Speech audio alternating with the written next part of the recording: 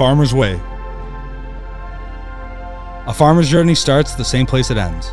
Season after season, lesson after lesson, back to the land. Humility, hard work, dedication, and patience are the values we arm ourselves with. Plant, cultivate, harvest, give thanks, rest. This is the farmer's way, the way of our fathers and our grandfathers. Carried forth by the American farmer to meet our American challenges. This one's not for the farmers, it's made by them. American Apple. Here's to tradition. Humbly presented by Blake's Hard Cider.